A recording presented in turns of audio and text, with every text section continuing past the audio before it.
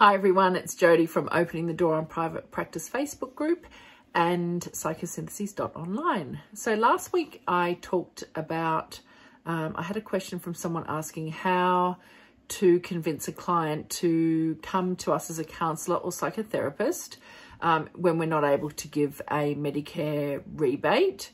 And uh, one of the tips that I mentioned was around writing a blog or an FAQ page around um, educating uh, potential clients around using the Medicare system.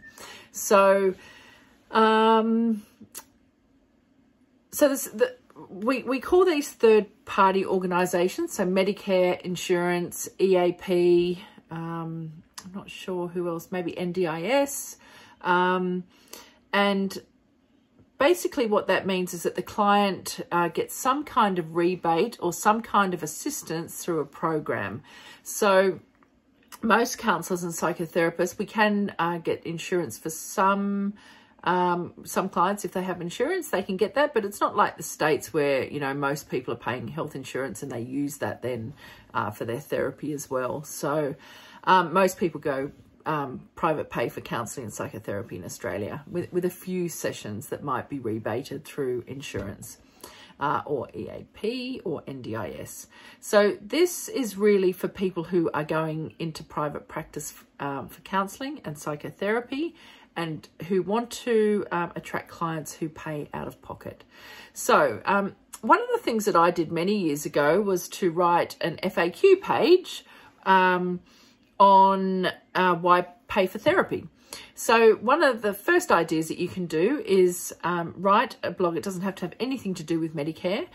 Uh, why pay for therapy? So um, I sort of did mine a bit of a play on the uh, L'Oreal ad, um, because you're worth it. So you can do something like that for that. Um, and um, a couple of other blogs that I've wrote, I think I wrote part one and part two for that. I'll post them underneath so you can get some ideas. And then I also did one around why um, counsellors and psychotherapists and their clients are better off without Medicare. Um, I've had so many messages from people telling me, um, you know, that that comes from a very privileged position. Yes and no. I don't think Medicare provides the um, the service that people think it does. So um, you know, and, and I talked about that last week around um, the, the, psychologist fee is so much and the, re the rebate is so much. When you work that out, it, it almost always works out almost a similar um, range to what a counsellor and psychotherapist would charge anyway. So even going through Medicare, it's still, I think, for the privileged um, because it's for people who can afford to. Um, to pay that um, gap fee. I, I, don't know many people who um, cover the whole I think I made a mistake on my video last week saying something around um, getting the session for free. I, I, don't know anyone who whoever gets that.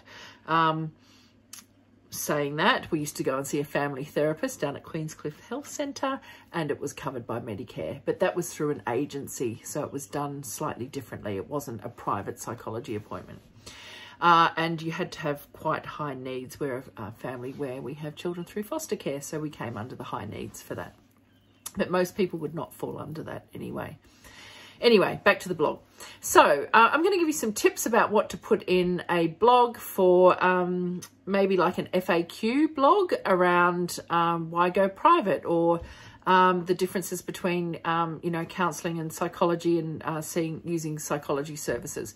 So look, these blogs are a little bit controversial. Um, that's always good because they usually get lots of hits. You know, so I, I think go for it. So the first thing you want to address is something, let me just have a look what I've written here. You can address this in one or two blogs. Perhaps the first one, why is therapy worth paying for? So I've already talked about that. Um, and why pay for therapy versus using insurance. So some of the topics you might mention are this being in relationship with third parties in terms of their rules and regulations and making choices for clients. So what I mean by that is when you go through uh, Medicare or EAP or even NDIS, I suppose, um, th there'll be a set of rules and regulations that um, that the client and the therapist will need to follow. So um, being in private pay, you are the one that makes the, the decisions for your practice. And um, clients then have the option of choosing someone who, um, you know, just has to follow their rules. I, I always say this to my kids around being a, um, a foster parent on, on, the way to adoption, and that's um, I, am the mum, but there's a mummy above me as well, you know, and that's Department of Community Services. It's a bit like that when you pay for um, you know, when, when you go through an EAP or a, a Medicare sort of system for, for counselling. Um, one of the benefits of choosing a counsellor and psychotherapist from, um, you know, for example, the PACFA database is that the client can choose whoever they want. And they can scroll through, they can spend as much time as they like and they can choose anyone they want. Um, when you go down the um, Medicare route or, or, even the private insurance or the uh, EAP route, NDIS route, um, there's typically a list of therapists um, that, that people will be referred to. Uh, and I think some of those you can find your own and then you get the payment from the other third party. That's slightly different. But certainly with Medicare, you know, um, I know when I go to my doctor, um, for things. You know, I had a, a foot injury and um, this was the name she gave me and off I went, you know. Um, it, it's a bit like that with psychology when you go through Medicare system. So when clients don't have to go through the Medicare system, they can choose whoever they like. Um, they're not limited in their choice of therapist and, um, you know, they can choose a counsellor or a psychotherapist, obviously. Um, then there's the right for the client to choose the modality of their choice. So we know when we go through the Medicare system, we get a psychologist or we get, um, a, there's a small number of mental health social workers. Um, psychology is a medical model and social work is a social model. Um, that's great if that's who you want to go and see. And sometimes um, it's absolutely more appropriate to see this person or that person. And a lot of the time, it's more appropriate to see a counsellor or a psychotherapist. So, um, and we each have our own modality. So I knew when I was looking for my recent therapist that I've been with for the last year and a half, two years, um, I wanted psychospiritual and I wanted somatic. And um, I had to go overseas for that because, um, you know, I'm the most highly qualified psychosynthesis therapist in Australia. There's only a couple of us. And um, so I knew that I would have to go overseas. Um, I knew I was not going to find that on a Medicare um, psychologist database. There's no way. Likewise, an art therapist, a gestalt therapist, uh, I've mentioned somatic therapist, a Jungian therapist, uh, process orientated therapist, existential therapist. You are not going to find someone on the Medicare system unless they've trained in psychology first and then gone on to do a psychotherapy training. Um, that's not how it works. It's typically, um, there's a list of uh, interventions that um, psychologists and mental health social workers um, need to use, and that's typically, uh, the, the, most obvious one is CBT, and then there's interpersonal therapy and a couple of others, typically short-term solution focused. That's not how most counsellors and psychotherapists work. Um, so people, when they come to us, they get to choose whatever discipline they like. And I think that is a real benefit that we need to highlight on um, our blogs or, or, however we're getting our message out there. Uh, the next one is that the client has a choice um, as to when uh, they attend therapy and when they end therapy. So, um, you know, for me, uh, I work weekly, long term. So if someone was to come to me with a Medicare rebate with a mental health um, plan, uh, through through the GP with the Medicare, they would get between 3, 6, 10, 20, uh, because I'm an eating disorder therapist, they might get 40 sessions a year, which would be ideal. Um, but for the majority of people, um, they only get so many uh, sessions rebated anyway. So they're going to, after after 10 sessions, I mean, I, I, don't know how you work, but certainly for me, most people come to me for about 40 sessions a year for one, two, three, four, five, six years. So um, 10 sessions is not actually a lot in terms of a rebate anyway.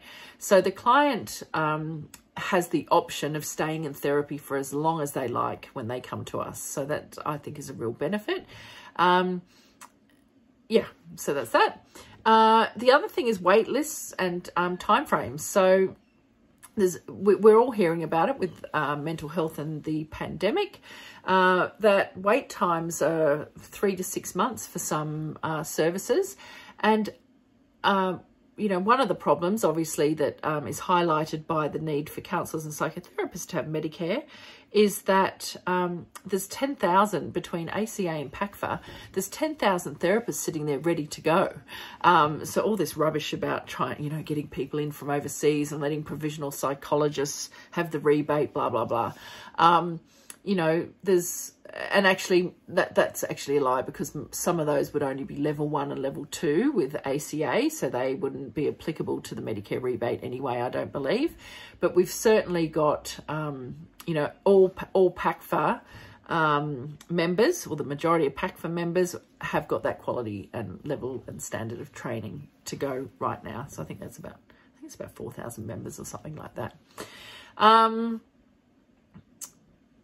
so what else was I going to say? Yeah, so we're ready to see people in a few weeks. I mean, uh, many of us have now got wait lists as well, uh, but it's certainly not like a three-month wait list where people are being referred through the Medicare system. So um, there are a couple, that's a couple of ideas for you to put on a blog like that. Um, the other thing, actually, I forgot, was privacy and confidentiality. So obviously, um, you know, when my husband and I were going through IVF and we, we moved home from England to Australia, uh, and then we could see that IVF wasn't working and we had to go, um, we, we then chose to go down the foster to adopt uh, route to have a family. One of the things that was very obvious very early on was that we were going to be asked for a medical and it covers all sorts of things. So we were with the doctor for about two hours and put it this way, there are some things about my um, psychological history that probably are not very appealing to an adoption board. Um, so, and, and look, this goes two ways. I don't want to stigmatize any more uh, things like eating disorders, but certainly when, when an adoption board sees something like an eating disorder, which is classed as a severe psychiatric illness, I don't personally um, diagnose it like that, that then becomes very problematic along the adoption, adoption process. And it's not going to stop someone from being able to become an adoptive parent, but it's certainly... Um, it'll certainly add some hiccups along along the way and some extra interview sessions and um, you know I, I just think um, a lot of people are being diagnosed with things and um, from the DSM that are everyday concerns. Um, grief is being pathologized, for example. Even eating disorders. Uh, I don't agree with some of the classifications around this stuff.